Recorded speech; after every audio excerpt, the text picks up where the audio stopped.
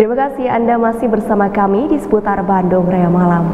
Pemirsa banjir kembali merendam ribuan rumah di Kecamatan Dayakolot, Balai Endah, dan Bojong Soang usai sejumlah kawasan hulu sungai Citarum diguyur hujan dengan intensitas tinggi pada Sabtu sore kemarin.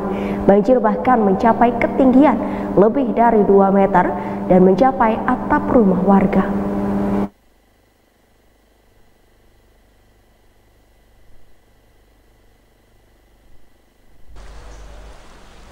Banjir kembali mengepung ribuan rumah warga di tiga kecamatan di Kabupaten Bandung yakni Dayeh Kolot, Balendah, dan Bojong Soang.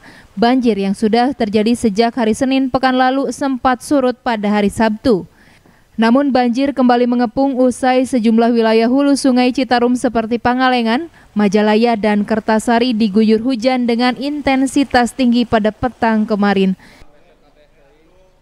Di Kampung Bojong Asih, Kecamatan Dayakolot, ketinggian banjir mencapai 2 meter lebih di titik terdalam dan nyaris mencapai atap rumah warga. Akibatnya aktivitas warga kembali terhambat.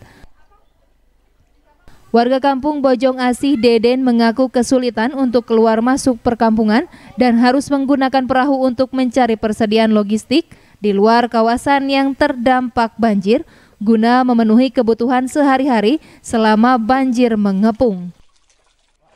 Ini kemarin sempat surut ya? Surut uh.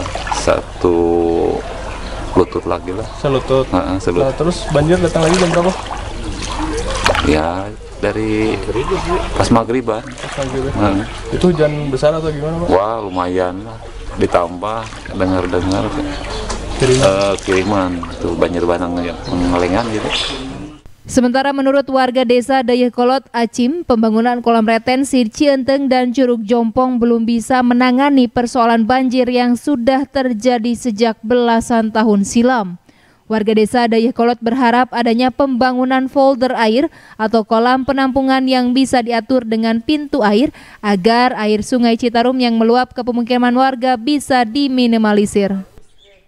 Uh, kolam retensi Curug Jompong kalau kolam retensi tidak ada pengaruhnya. Curug Jompong ada pengaruhnya cuman kemarin agak aneh juga Kang. Yang biasa di mana banjir itu cepat surutnya kemarin lama juga surutnya. Sampai biasanya kalau dua hari tidak hujan itu di daerah sendiri langsung surut. Pas kemarin mah ada masih ada genangan gitu selama dua hari itu Kang pengennya gimana Kang?